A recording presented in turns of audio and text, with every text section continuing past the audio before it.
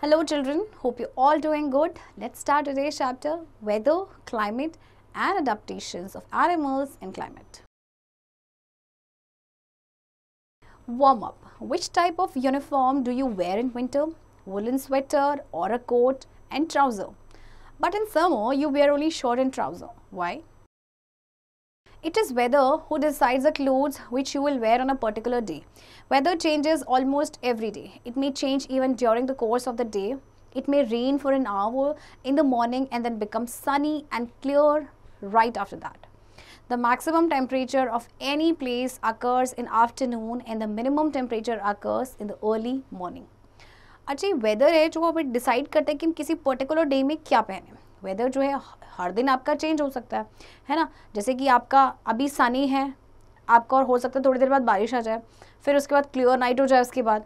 तो जो maximum temperature है, किसी भी प्लेस का, वो आपका होता है आफ्टरनून में एंड जो मिनिमम टेम्परेचर होता है, वो आपका होता है अर्ली मॉर्निंग में।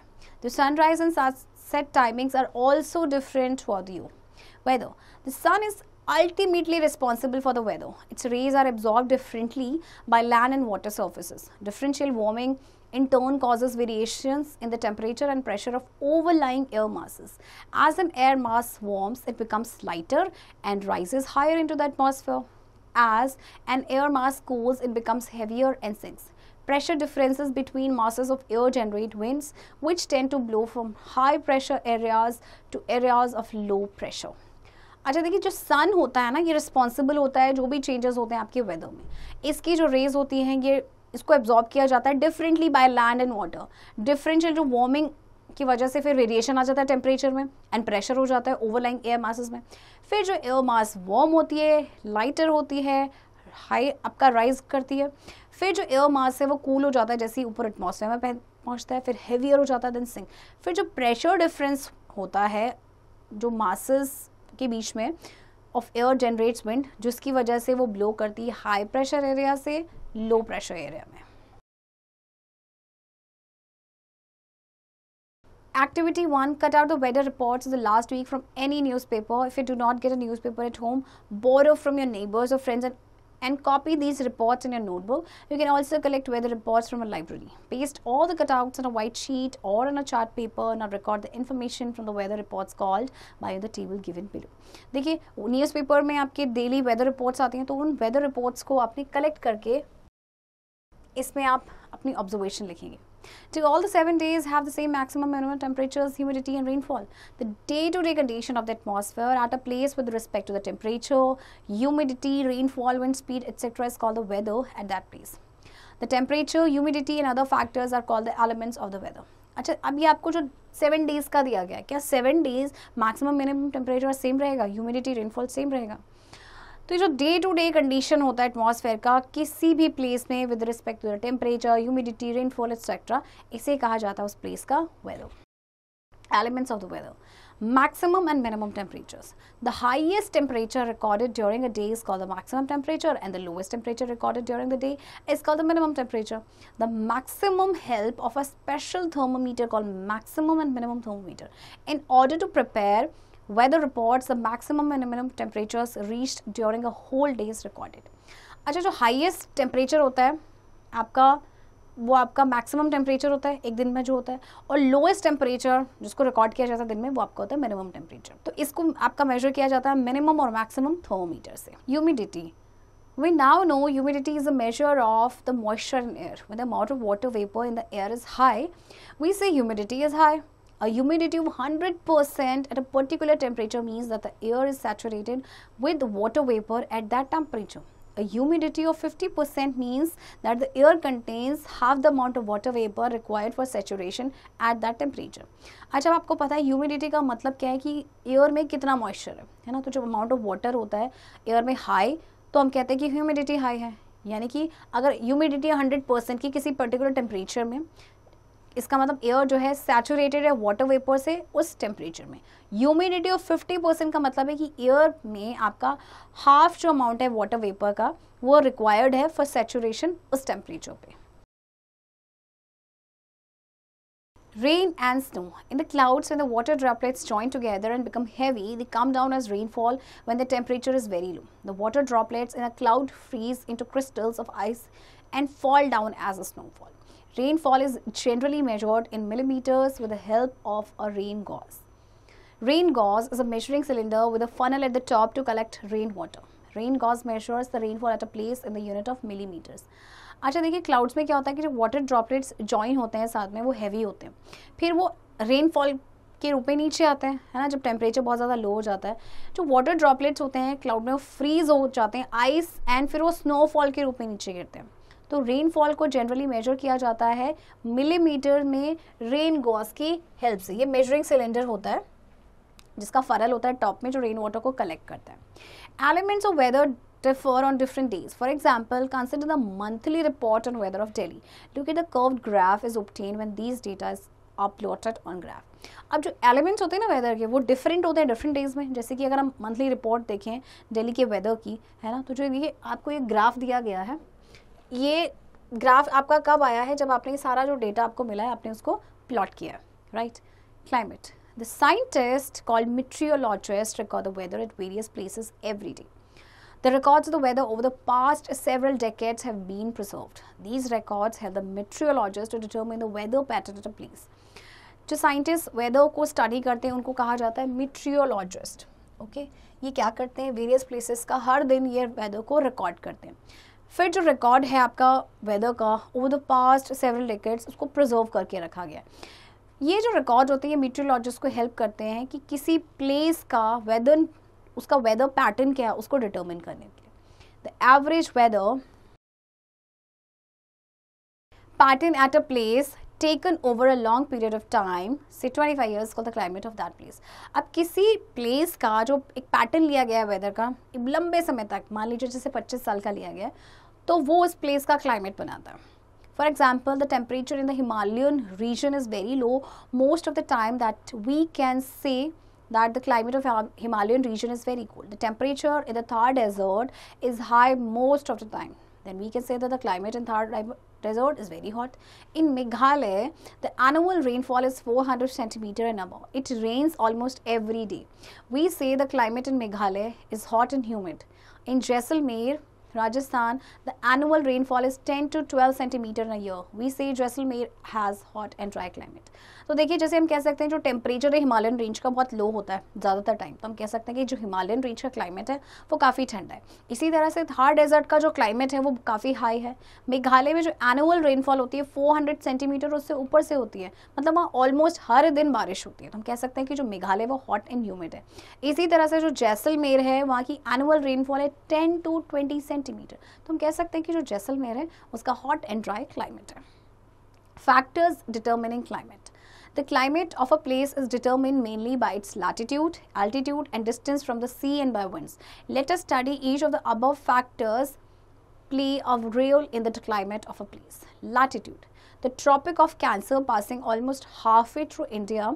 The southern India lies in the tropical zone and the part of India above the Tropic of Cancer lies in the subtropical zone.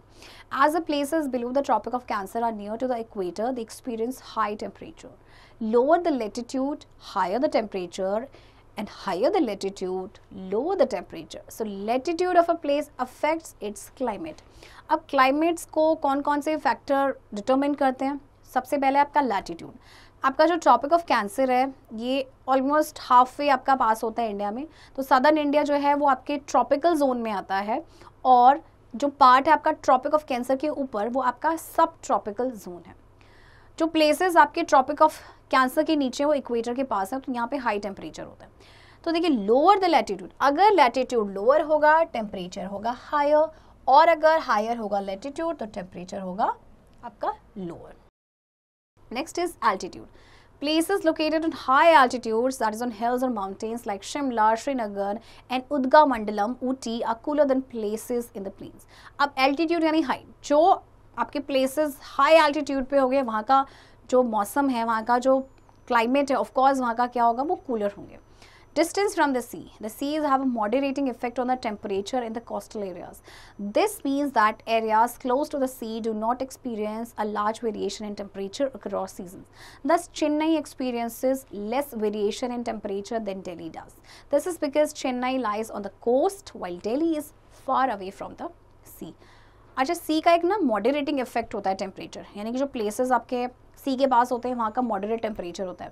जैसे चेन्नई जो है, उसमें लेस वेरिएशन आपको मिलेंगे टेम्परेचर में कंपैरेटिवली डेली. क्योंकि चेन्नई जो है, वो कोस्ट के पास है, जबकि दिल्ली जो है सी से बहुत दूर है. Winds winds blowing in from mountainous regions during the winter months cause cold waves during summer hot and dry winds cause hot waves अच्छा विंटर्स में क्या होता है कि माउंटेनियस रीजन से ठंडी हवाएँ बहती हैं जिसकी वजह से कोल्ड वेव्स होती हैं एंड समर में हॉट एंड ड्राई विंड्स की वजह से हॉट वेव्स होती हैं Climate and adaptation. Climate has a great effect on all the living organisms, plants and animals. The living organisms have certain favorable characteristics like body shape and structure, color, size, behavior or food habits suited to climate of that habitat. The favorable characteristics which enables the living organism better fitted to survive and breed in their surroundings is called adaptation. For example, plants and animals living in very cold or hot climate must possess certain adaptations to protect themselves against extreme cold or hot climatic conditions. तो climate का ना एक great effect होता है सभी living organism पे living organism का एक सर्टेन फेवरेबल कैरेक्टरिस्टिक होता है जैसे कि उनका बॉडी शेप स्ट्रक्चर कलर या साइज़ या बिहेवियर या फ़ूड जो सूट करता है उनको अकॉर्डिंग टू उनके क्लाइमेट तो जो फेवरेबल कैरेक्टरिस्टिक्स हैं, वो लिविंग ऑर्गेनिज्म को अपने सराउंडिंग में सर्वाइव और ब्रीड करने में हेल्प करता है। And that is called adaptation जैसे कि प्लांट्स एंड एनिमल जो हॉट या कोल्ड क्लाइमेट में रहते हैं तो उनकी, उनमें कुछ एडेप्टेशन होते हैं, जो कि उनको एक्सट्रीम कोल्ड और हॉट क्लाइमेटिक कंडीशन से प्रोटेक्ट करते हैं। Tropical region, much of the equatorial belt experiences hot and humid weather. There is abundant rainfall due to the active convection of air that takes place there and during certain periods thunderstorms can occur every day. Nevertheless, this belt still receives considerable sunshine and with the excessive precipitation provides ideal growing conditions for luxuriant vegetation. The principal regions with an equatorial climate are the Amazon basin in Brazil, the Congo basin in West Africa and Indonesia. आपका जो equatorial belt है उसमें hot and humid weather है वहाँ पे बहुत बारिश होती है क्योंकि वहाँ पे एक्टिव कन्वेक्शन होता है ईयर का और कुछ सर्टेन पीरियड्स में वहाँ थंडर स्ट्रॉम भी होते हैं तो ये जो बेल्ट है ना, फिर भी इसमें इसमें आपका जो सनशाइन है, काफ़ी ज़्यादा अमाउंट में आता है और एक्सेसिव प्रेसिपिटेशन भी होता है, जिसकी वजह से बहुत अच्छे कंडीशंस ग्रोइंग कंडीशंस मिल जाते हैं वेजिटेशन के लिए। तो इसमें आपके आते हैं अमेजोन बेसिन जो आपका ब्राज़ील में है कॉन्गो बेसिन जो आपका वेस्ट अफ्रीका इंडोनेशिया में है।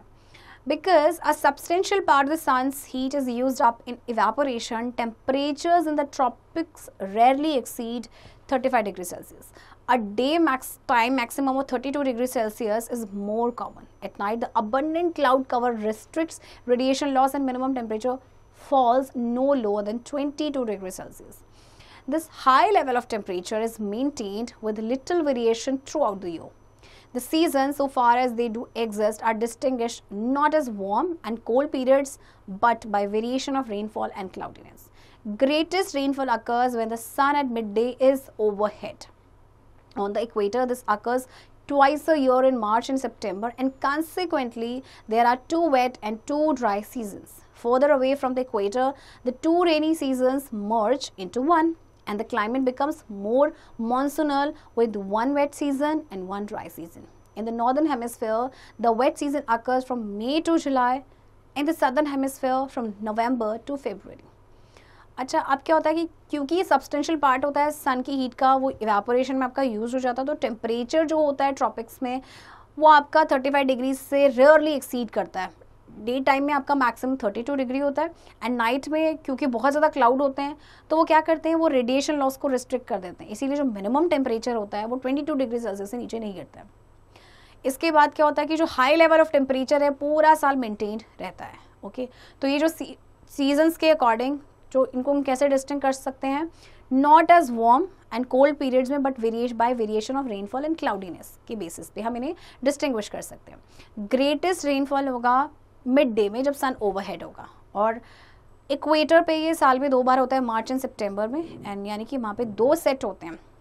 दो ड्राई सीजन्स के, दो वेट सीजन्स के। और इसके बाद जैसे ही इक्वेटर से आप दूर जाएँगे तो दो रेनी सीज़न जो है, वो एक में मर्ज हो जाते हैं। यानी कि क्लाइमेट मानसूनल होता है, एक वेट सीज़न होता है, एक ड्राई सीज़न तो नॉर्दर्न हेमिस्फेयर में वेट सीज़न होता है मई टू जुलाई जबकि सदर्न हेमिस्फेयर में November to February adaptation in tropical rain forest since the numbers are large there is intense competition for food and shelter many animals are adapted to living on the trees elephant is a very large animal of Indian tropical rain forest it can live and survive in the tropical rain forest due the following adaptation अच्छा यहाँ पे क्योंकि numbers बहुत ज़्यादा है तो competition बहुत होता है फ़ूड एंड शेल्टर के लिए। एंड ज़्यादातर जो एनिमल्स हैं, वो अडेप्टेड होते हैं कि वो ट्रीज़ में रहते हैं। एनिफेंट आपका जो बहुत बड़ा लार्ज लैंड एनिमल है इंडियन ट्रॉपिकल रेन फॉरेस्ट का, इस, ये रहता है और सर्वाइव करता है ट्रॉपिकल रेन फॉरेस्ट में कुछ अडाप्टेशंस की वजह से। The most distinctive feature of elephant is the boneless muscular trunk. The trunk of an elephant is basically an elongated base. The trunk helps the elephant in many ways.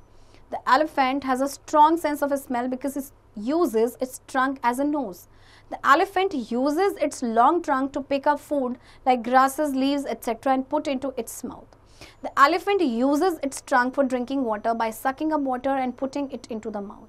The elephant uses its trunk for trumpet calls, pulling down branches of tree to obtain leaves as food.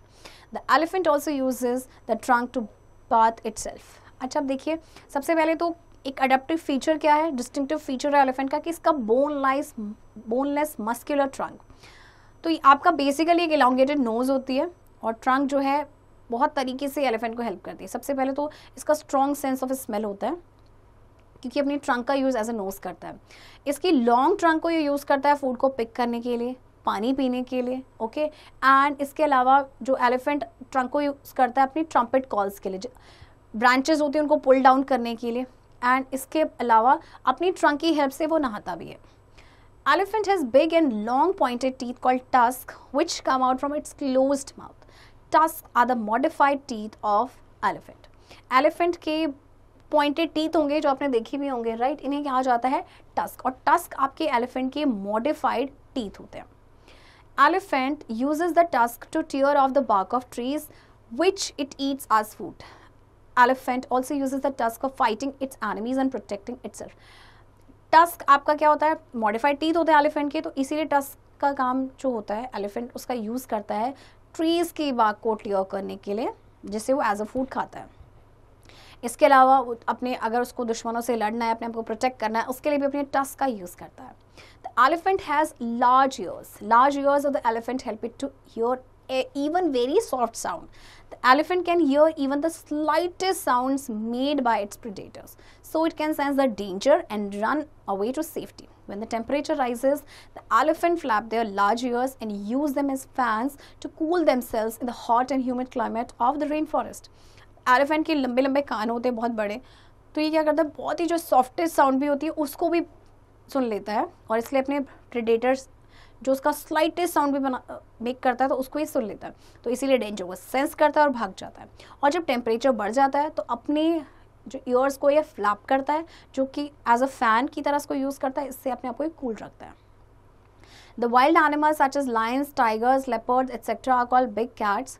The various adaptation big cats which help them live and survive in tropical rainforest habitat are as follows. The big cats, lion and tiger eat only the meat or flesh of other animals. They have a highly developed sense of smell which helps them to locate their prey such as deer. They hunt their prey for obtaining food, meat or flesh. Big cats also have sensitive hearing which helps them to find their prey.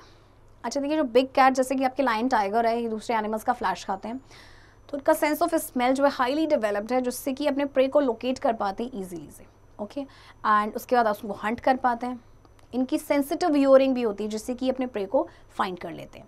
The yellow brown colour of lion and the yellow brown colour with black stripes of tiger help them to camouflage by blending with the surrounding it protects them from their predators. It also helps them in catching the prey अच्छा इनका yellow brown colour होता है line का, और yellow brown colour होता है tiger का, जिसमें स्ट्राइप्स भी होती हैं। तो इनको ये कैमोफ्लाज करने में हेल्प करते हैं। इससे क्या करते हैं कि अपने प्रे को ये बड़ी इजीली से कैच कर पाते हैं।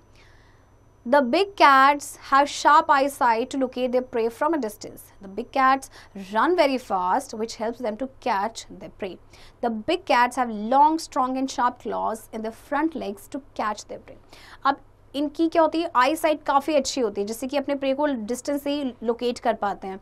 बहुत तेज़ी से भागते हैं, जिससे अपने प्रे को कैच कर लेते हैं। इनकी लॉन्ग एंड शार्प क्लॉज होते हैं इनके फ्रंट लेग्स में, जिससे अपने प्रे को कैच करते हैं। Red-eyed frog has developed sticky pad on its feet to help it climb trees on which it lives. अब ये जो रेड आइड फ्रॉग है, इसके स्टिकी pads होते हैं इसके feet पे, जिससे कि ये trees में climb करता है जहाँ पे रहता है। To help them on the trees, monkeys have long tails for grasping branches. Their hands and feet are such that they can easily hold onto the branches. अब monkeys को आपने देखा होगा उनकी tail कितनी लंबी होती है जिससे कि branches को grasp कर पाते हैं इसके अलावा इनके hands and feet भी क्या होते हैं वो easily hold कर लेते हैं branches पे some animals became much specialized. This means that they adapted to eating a specific plant or animal that few others eat. For example, parrots and toucans eat nuts and develop big strong beaks to crack open the tough shells of Brazil nuts. अच्छा कुछ animals तो कुछ ज़्यादा specialise हैं। इसका मतलब क्या है कि उन्होंने एक स्पेसिफिक प्लांट या एनिमल को खाते हैं ठीक है? जैसे कि आपका पैरिस एंड टॉकन्स हैं नट्स खाते हैं। तो इनके बड़े स्ट्रॉन्ग बीक्स हैं जैसे कि ये ब्राज़ील नट्स के टफ शेल्स को भी क्रैक कर लेते हैं। Leaf cutter ants climb tall trees and cut small pieces of leaves which they carry back to their nest The leaf pieces they carry are about 50 times their weight. The ants bury the leaf pieces and the combination of the leaves and the ants saliva encourages the growth of a fungus which is the only food these ants eat. अच्छा जो leave cutter aunt होती है वो tall trees पे climb करती है और फिर जो स्मॉल पीसेस कट करती है स्मॉल पीसेस ऑफ़ लीव्स को जो कि अपने नेस्ट पे लेके वो जाती है फिर जो लीव पीसेस हैं इनमें आपके जो ये कैरी करती है, इनका वेट उनके वेट से पचास गुना ज़्यादा होता है। फिर आंट्स इन लीफ पीसेस को वेरी करती हैं। एंड जो कॉम्बिनेशन होता है लीव्स का एंड जो आंट का सलाइवा होता है, इसकी वजह से ग्रोथ होती है एक फंगस की, जो कि आंट्स का फ़ूड होता है। Sometimes there are relationships between animals and plants that benefit both. Some trees depend on animals to spread the seeds of their fruit to distant parts of the forest. Birds and mammals eat the fruits and travel some distance before the seeds pass through their digestive systems in another part of the forest. अच्छा तो कई बार जो relationship होता है animals और plants के बीच में एक दूसरे को बेनिफिट करते हैं जैसे कि कुछ ट्रीज जो है वो एनिमल्स पे डिपेंडेंट होते हैं क्योंकि उनके सीड को डिस्पोज करने में हेल्प करते हैं The South American three-toed sloth uses camouflage and amazing slowness to escape predators. Green algae grow in the sloth's fur, which helps camouflage it in the forest canopy. Sloths are among the slowest moving animals of all. They hang from branches in the canopy and are so still that predators such as jaguars don't see them. Sloth आपका जो है ये camouflage का use करता है ये three toad sloth होता है और ये बहुत ही स्लो होता है। इतना स्लो होता है कि मतलब अपने प्रेडेटर से स्केप कर सकता है। ग्रीन एलिगे स्लॉथ के फर में ग्रो करती है, जो कि उसको कैमोफ्लाज होने में हेल्प करती है फॉरेस्ट कैनपी में। स्लॉथ आपकी बहुत ही ज़्यादा स्लोएस्ट मूविंग एनिमल होते हैं। ये ब्रांचेस कैनपी की ब्रांचेस से आपके लटके रहते हैं और ये इतने स्टिल रहते हैं कि जो प्रीडेटर्स है, जैसे कि जैगवार इसका देख नहीं पाता है। Some animals are poisonous and use bright colors to warn predators to leave them. There are several species of brightly colored poison arrow frogs. Native Central and South American tribes used to wipe the ends of their arrows onto the frog's skin to make the arrows deadly poisonous. कुछ animals आपके poisonous होते हैं जैसे कि ये red colour का जो frog है है ना तो ये brightly colour actually bright colours का यूज़ करते हैं अपने प्रीडेटर्स को वॉर्न करने के लिए बहुत सारे पॉइजनस एरो फ्रॉग्स पाए जाते हैं स्पीशीज इनकी बहुत ज़्यादा है तो जो आपके नेटिव सेंट्रल और साउथ अमेरिकन ट्राइब्स होती हैं वो क्या करते हैं अपने एरोज के जो एंड्स होते हैं उनको वाइप करते हैं इन फ्रॉक्स के स्किन पे जिसकी वजह से वो जो एरोज होते हैं वो डेडली पॉइजनस हो जाते हैं polar region. The polar regions are perpetually covered by snow and ice throughout the year. In these high latitude parts of the world, the sun is never high enough in the sky to cause appreciable melting and the temperature rarely rises above freezing. During the long polar nights, which last six months at the poles, temperature can fall to extremely low values. The lowest ever temperature occurred in Antarctica, where a value of minus 88 degrees Celsius was recorded. The North Polar region includes the ice covered Arctic Ocean, the Greenland continent, and much of northern Canada and northern Siberia. In the southern hemisphere, the vast mountainous continent of Antarctic is covered by snow and compacted ice several kilometers thick. आपका polar region आपको पता होगा ice and snow से covered रहता है पूरे साल। तो ये जो हाई लैटिट्यूड पार्ट्स है वर्ल्ड का यहाँ पे मतलब इत, सन इतना ब्राइट होता ही नहीं है मतलब इतना इनफ नहीं होता है कि वो मेल्टिंग यहाँ पे हो सके ठीक है? तो जो टेम्परेचर वो रेयरली राइज होता है अब फ्रीजिंग तो जब लॉन्ग पोलर नाइट्स के टाइम पे जो कि छः महीने तक चलती हैं पोल्स पे टेम्परेचर जो है बहुत ही लो हो जाता है।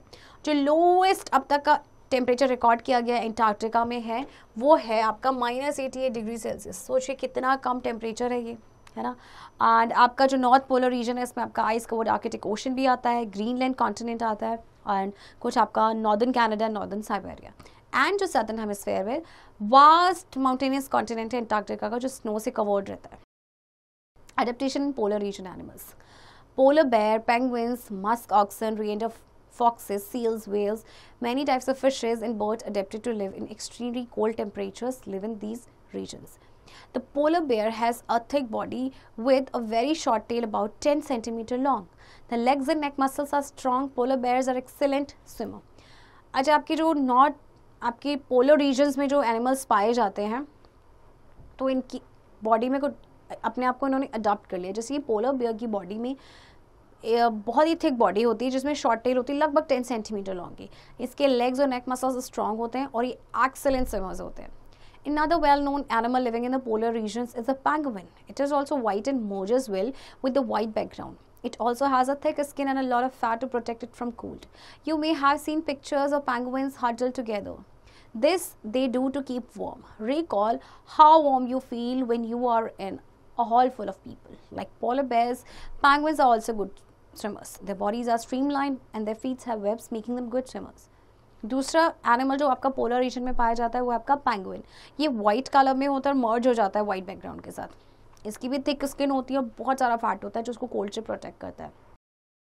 अब पैंगुइन्स जो है ना, वो साथ में हडल करते हैं, जिसकी वजह से वो वार्म रहते हैं। जैसे कि अगर आप किसी हॉल में चले जाएँ, जो लोगों से भरा हुआ है तो आपको वार्म फील करेंगे।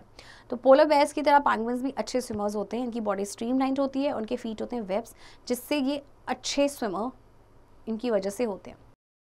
Migration Many animals like birds, insects, whales and fishes move from one place having severe cold climatic condition and shortage of food to another place having favorable condition. This is called migration. बहुत सारे ऐसे birds होते हैं insects हैं whales हैं fishes हैं जो एक place से दूसरे place में जाती हैं जहाँ पे ये रहती है एक्चुअली वहाँ पे सीवियर कोल्ड क्लाइमेटिक कंडीशन होता है तो शॉर्टेज ऑफ़ फ़ूड होता है तो इसीलिए वो दूसरे ऐसे प्लेस में चले जाते हैं जहाँ पे फेवरेबल कंडीशंस होते हैं तो इसे माइग्रेशन कहा जाता है One of the most common migratory bird which comes to India every year for a few months is the Siberian crane. The normal habitat of Siberian crane is Siberia, which is a very cool place. So हर साल Siberian crane जो है वो India में आ जाती है जब भी Siberia में बहुत ज़्यादा ठंडी पड़ती है Arctic tern lives in the Arctic region, North Pole. When the Arctic region has winter, Antarctica, South Pole has summer. Every winter, the Arctic tern flies all the way to Antarctica and returns to the Arctic region when it is summer, covering a distance of about 35,000 km. Arctic tern जो है Arctic region में रहती है जो कि north pole में तो जब आर्कटिक टर्न में विंटर होती है तो अंटार्कटिका में आपका समर है क्योंकि अंटार्कटिका आपके साउथ पोल में तो हर साल आर्कटिक टर्न जो है फ्लाई करती है अंटार्कटिका एंड फिर वापस आ जाती है आर्कटिक रीजन में समर में तो जिससे कवर करती है आपका लगभग देखिए thirty five thousand kilometre notes for the chapter Weather is the daily condition of the atmosphere at a place in terms of temperature, humidity, rainfall, wind speed, etc. The elements that determine the weather of a place are temperature, humidity, rainfall, and wind speed. The weather of a place can vary over short periods of time, it changes frequently. The maximum temperature of a day is recorded in the afternoon, while the minimum temperature of the day is recorded early in the morning. Climate is the average weather pattern in some location over a long period of time. The climate of a place that receives very little rainfall and has high temperature throughout the year is hot and dry. Example, deserts. The climate of a place that receives plenty of rainfall is wet and humid. Example, the northeast region of India. Polar region. It is marked by extreme climatic conditions. It is very cold for maximum part of the year. The sun does not set for six months and does not rise for the remaining six months. The animals found in the polar regions are polar bear and penguins. Adaptive features of polar bear to overcome climatic conditions. White fur to escape predator, strong sense of smell to locate and catch its prey, thick layer of fat to keep it warm in cold conditions, wide and large paws for swimming in water. Tropical rainforest. The climate of tropical rainforest is generally hot and wet with continuous rain. The hospitable climatic condition supports a huge population of plants and animals. Adaptive features of animals found in tropical region. Red-eyed frog develops sticky pads to climb trees. Monkeys have long and sturdy tail for grasping branches, loud voice, etc. Bird toucan has a long and large beak to reach fruits present on the branches. Carnivores such as lions or tigers have thick, sensitive skin and strips on their bodies to move fast. An elephant uses its trunk as nose and tusk to tear the bark of trees. The soles of their feet are covered with thick pads to handle the enormous weight and they have large ears for hearing. Children, I hope आपको chapter समझ आया होगा and इस chapter की practice अब आप खुद से करेंगे